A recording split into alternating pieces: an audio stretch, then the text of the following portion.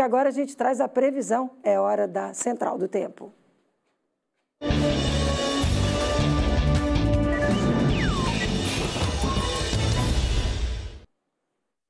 Boa noite, Sibeli. Boa noite, Márcia. Boa noite para você. Muitas ocorrências e novos alertas para as regiões Oeste, Serra e Sul, as mais atingidas, não é isso que preocupa? É mesmo, Márcia, exatamente. E o risco também agora é para deslizamentos de terra e também a cheia dos rios, que também tira as pessoas de casa, né? É que já choveu o volume previsto e ainda deve chover mais. Eu separei aqui para você os volumes divulgados pela Defesa Civil das 48 horas monitoradas. Olha só, Capinzal, 207 milímetros, Piratuba, 207 milímetros, Concórdia 178, Itá 168, Erval Velho 160, municípios da Grande Oeste e ainda deve chover mais. Esse era o volume previsto nos alertas, então vai superar sim o volume até agora. Com tanta chuva, o risco é muito alto de deslizamentos de terra nessas regiões onde mais choveu e ainda vai chover são essas áreas em vermelho aqui no mapa: extremo oeste, meio oeste, Planalto Sul, a nossa serra, também o litoral sul, as cidades de divisa com o Rio Grande do Sul, principalmente, as áreas mais fragilizadas nessas cidades é que estão em alerta. No Grande Oeste, olha só, Itapiratuba, Capinzal, Chapecó, Concórdia, Campos Novos, na Serra São Joaquim, no sul, Praia Grande, São João do Sul, Timbé do Sul e Jacinto Machado. A preocupação ela aumenta com o nível dos rios. O alerta, portanto, é para a região do Grande Oeste, Planalto Sul e Litoral Sul, que a gente vem trazendo aqui tanto para volumes quanto deslizamentos e também para o nível dos rios. Esse alerta é para alagamentos, enxurradas e risco de inundações.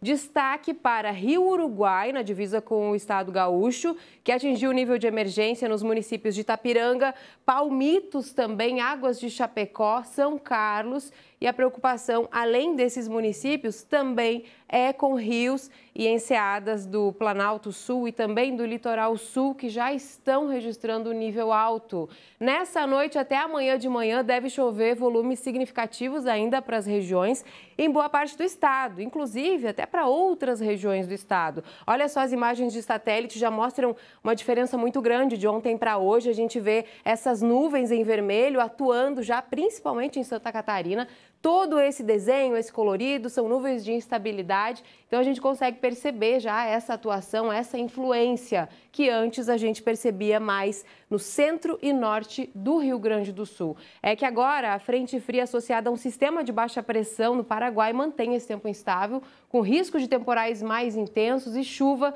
que é mais persistente e intensa no centro e sul do nosso estado. Portanto, pode atingir também áreas do Vale do Itajaí, mas principalmente no Planalto Sul, parte do oeste e também no sul. Amanhã a chuva permanece concentrada entre o centro e, centro e sul catarinense, onde há condições para temporais mais intensos, com rajadas de vento, raios e até mesmo queda de granizo. Nas demais regiões, olha só, o sol aparece pela primeira vez, depois né, de, dias de alerta aqui, o sol aparece em mais regiões e pode ter sim pancadas isoladas de chuva em todo o estado. O que explica essa chuva volumosa e persistente que a gente vem vivendo e alertando, principalmente no Rio Grande do Sul e também na divisa né, com o nosso estado, Santa Catarina, é a atuação dessa forte frente fria e junto a isso, a gente tem ao mesmo tempo um sistema de alta pressão atuando em boa parte do estado, que funciona como uma bolha de ar quente, que evita que esse sistema consiga avançar, ou seja, acaba nos protegendo, né? Esse calor que a gente acaba tendo aqui.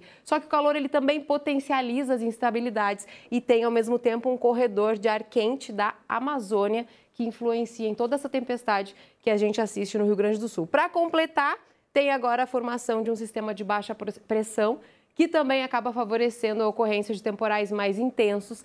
Então, é tudo isso acontecendo ao mesmo tempo e por isso o alerta se mantém para o Rio Grande do Sul e para nossas faixas de divisa até domingo, Márcia. Situação muito preocupante lá no Rio Grande do Sul. Sibeli, vou te pedir uma gentileza, continue acompanhando, monitorando as imagens de satélite. Se for preciso, se for necessário, avisa que eu volto imediatamente com você, pode ser? Combinado. Obrigada.